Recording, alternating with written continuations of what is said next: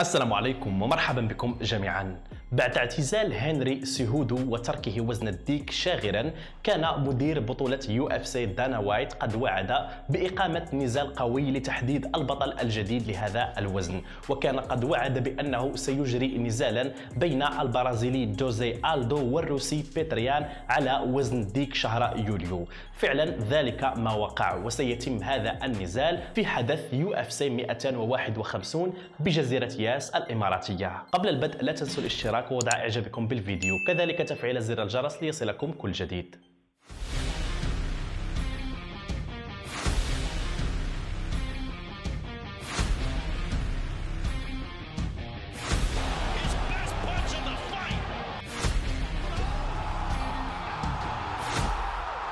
جوزي ألدو ضد بيتر يان. نزال لا يحتاج الكثير من الكلام بين مقاتلين يعشقان القتال لأبعد الحدود. هذا النزال سيجرى قبل نزالين رئيسيين في حدث يو إف سي 251 قبل نزال فولكانوفسكي ضد هولوواي وعثمان ضد ماسبيدال. سأتحدث عن نزال ألدو ويان بشكل مفصل.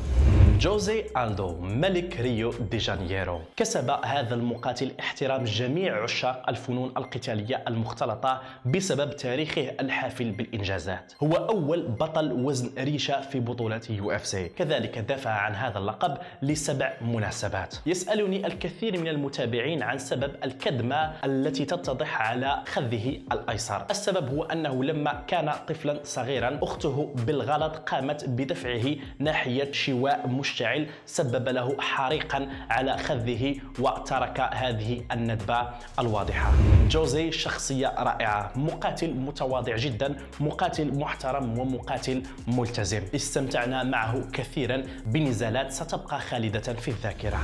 متابعو اليو إف سي جميعا يعلمون تاريخ ألدو. قدم نزالات شرسة لكن مستواه بدأ بالتراجع خاصة بعد نزاله ضد كونور ماغريغور وسقط بضربة قاضية في 13 ثانية. منذ ذلك الحين ومستواه في تراجع لم يعد مثل ألدو السابق ومؤخرا أيضا للأسف حصد خسارتين متتاليتين. الخسارة الثانية للأسف لم تكن مستحقة. هو أيضا عبر عن ذلك ومدير اليو إف سي دانا وايت وجميع الجماهير انتقدوا الحكام بشكل لاذع عندما واجه ألدو مارلون مورايس وخسر بطريقة غريبة جدا. كان تقريبا فائزا في جميع الجولات وقدم مستوى قوي خاصة على مستوى القتال وقوفا واستطاع أن يقهر مورايس لكن كان للحكام رأي آخر. من هنا بدأت انتقادات الجماهير لبطولة اليو إف سي من أجل أن تعيد النظر في حكامها. لكن على العموم بعد هذا النزال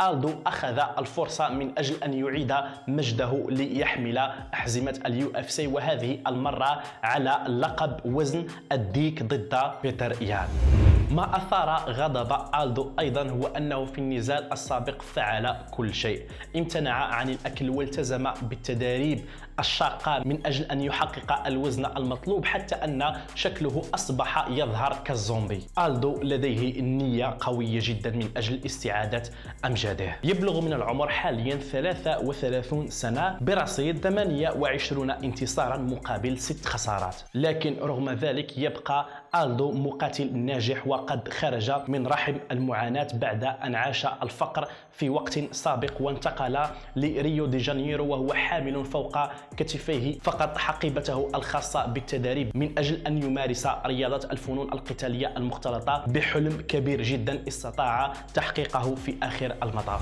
من جهة أخرى المقاتل الشاب اليافع الروسي بيتريان مقاتل لا تعرف الرحمة طريقا إلى قلبه. مقاتل مدمر لأبعد الحدود. يحب تدمير خصومه ومشاهدتهم يتوجعون ألما من ضرباته المؤلمة. هو مصارع وملاكم ومقاتل متكامل بشكل كبير جدا كذلك صغير السن. يعتمد أسلوب مخيف في القتال. يتوجه مباشرة لخصومه وأي لكمة يسددها تكون لكمة محكمة وإذا أصابت خصمه يتألم أو يسقط مباشرة إلى أن يستسلم لضرباته في الأرض أو مباشرة يعلن استسلامه. يان لن يفرط في هذه الفرصة. انتظرها طويلا والآن تم منحه آلدو وسيفعل كل شيء من أجل الفوز. يان يتدرب بنادي تايجر مواي تاي بتايلاند ويعتبر دولة تايلاند بلده الثاني لأنه يقيم بها أغلب الأوقات. كذلك هو برصيد صفر خسارة في بطولة يو إف سي بتحقيقه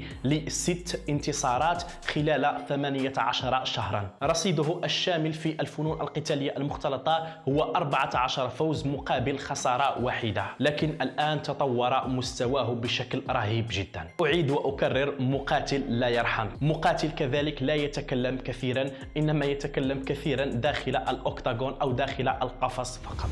أسلوبهما القتالي سواء آلدو أو يان أسلوب متشابه تقريبا. فهما يتقنان القتال وقوفا وأرضا. كذلك يتقنان الملاكمة المواي تاي الجوجيتسو يعني ليس هناك مقاتل متفوق على مقاتل وإنما مستواهما متقارب شيئا ما. إلا أن جوع القتال يبدو على يان أكثر من آلدو. رغم أن آلدو يبدي ذلك إلا أنه يغلب عليه التسرع في الكثير من الأحيان. أتمنى هذه المرة أن لا يقوم آلدو بالتسرع وإلا سيكون مصيره ضربة قاضية من إحدى لكمات يان المدمرة. نزال لا نستطيع الحكم عن من الأقوى لكن يبدو أن كلا المقاتلين لديهما رغبة قوية في الفوز بلقب وزن الديك لبطولة يو إف سي. ألدو يريد الاعتزال كأسطورة وكبطل كذلك يان يريد الظهور الجديد في اليو إف سي كبطل لوزن الديك. يمكننا الاستنتاج هنا بأنه نزال بين شاب في بداية مسيرته الحقيقية وبين مقاتل في نهاية مسيرته ويريد الاعتزال بشرف. آلدو وجه رسالة ليان يقول له أنه لا يعلم ما ينتظره ولا يعلم من هو جوزي آلدو. وسيرى آلدو الحقيقي ليلة النزال. يان أيضا وجه رسالة واضحة لآلدو يقول فيها أنه لا تهمه كل هذه الأقوال وإنما ما يهمه هو لقب وزن الديك لا غير. موعد هذا النزال هو يوم السبت الحادي عشر من يوليو ابتداء من الساعة الحادية عشر ليلا بتوقيت المغرب والثانية صباحا بتوقيت مكة المكرمة. من ترشحون للفوز؟ جوزي آلدو أم بيتريان؟ أجيبوني في التعليقات. لا تنسوا الاشتراك بالقناة وتفعيل زر الجرس ليصلكم كل جديد. كذلك وضع إعجابكم بالفيديو لتشجيعنا على تقديم المزيد. لازلنا معكم في تغطية مستمرة لحدث يو إف سي 251 كان معكم أمين. إلى اللقاء.